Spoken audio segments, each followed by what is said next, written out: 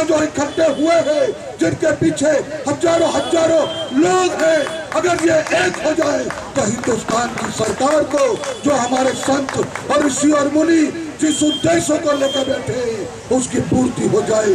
मेरे मित्रों, मेरे साथियों, अभी बहुत अच्छे अच्छे ये मंथन चिंतन हुआ। पर बड़े विद्वानों ने अपने अपने विचार रखे, संतों ने विचार रखे, राजनीतिक लोगों ने विचार रखे।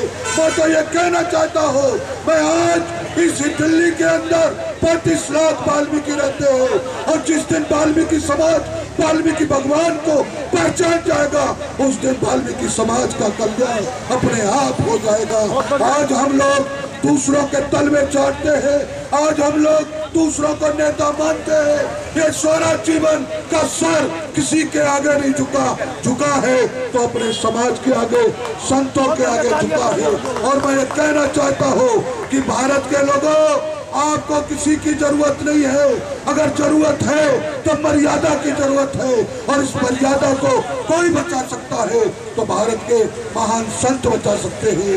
ये संत संत, स्वामी, ये तपस्वी लोग, ये ऋषि मुनि लोग ये वो लोग हैं जिन्होंने हमेशा भारत की एकता को, अखंडता को आगे बढ़ाया है।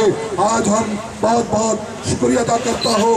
मेरे सामने माननीय संगम नाथ महाराज जी वाल योगी साहब, आपसे स्पष्ट रूप से कहना चाहता हूँ कि हिंदुस्तान के जो पढ़े लिखे शिक्षित लोग हैं जो राजनीतिक लोग हैं मैं भी एक राजनीतिक पार्टी से आता हूँ उसका ज़िक्र नहीं करता। और सुनो और सु, और उस राजनीतिक पार्टी में भी बहुत ही बहुत ही महत्वपूर्ण पद पर हो। मैं ये कहना चाहता हूँ मुझ जैसे लोगों को अगर कोई व्यक्ति अपने झंडे के तले ला सकता है तो ये विष्णु वाल्मीकि धर्म संसद ला सकती है।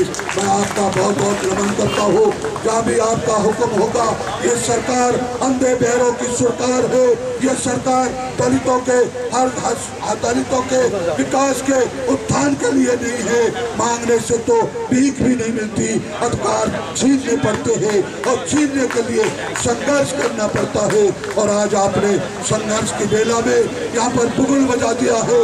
ये महात्माओं का, संतों का स्वामियों का शंखनाद हो रहा है। और इसके बाद भी अगर मोदी सरकार की अगर नींद नहीं खुली तो हम ये चैलेंज के साथ कहते हैं कि आने वाले वक्त में वाल्मीकि समाज का बच्चा बच्चा अपनी एक लहू का कतरा बहा देगा और इनको जो आलिशान महलों में सो रहे हैं। आलिशान कोठियों में रह रहे हैं। चैन से रहने नहीं देगा। क्यों नहीं रहने देगा? क्योंकि यहाँ पर हम सब जानते हैं, इस भारत में सच्चा भक्त अगर कोई है, इस भारत का सच्चा सेवक कोई है तो वाल्मीकि समाज है। आज हमारा समाज अगर यह संकल्प ले ले कि जो झाड़ू से हम मलबूत उठाते हैं वो झाड़ू में एकता है, वो सीख बंधी हुई है। जिस दिन वाल्मीकि समाज एक हो गया, ये थे देश के अंदर जो यहाँ पर भारत को चलाते हैं, अपने कोठियों में सोने नहीं पाएँगे। इन्हीं शब्दों के साथ मैं आप सब गुरुजनों का, आपने मुझे वालियों की संगत साथ बोलने का मौका दिया। आज अलीगढ़ में बहुत बड़ी घटना हो गई थी। मैं तमाम तूफानों को चीरता हुआ आपके बीच में आया हूँ और ऐसे ही नहीं बोल रहा हूँ। वाल्मीकि समाज की मान मर्यादा के लिए, वाल्मीकि समाज के समाज के सम्मान के लिए, और वाल्मीकि समाज के मंदिर के निर्माण के लिए राक्षसों ने शैतानों ने तीन सौ पंद्रह की गोली, अगर हाथी के गोली लग जाए तो हाथी ना उठे, शेर के गोली लग जाए तो शेर ना उठे, एक नहीं तीन तीन गोली, भगवान वाल्मीकि जी के नाम से मेरे में मारी है।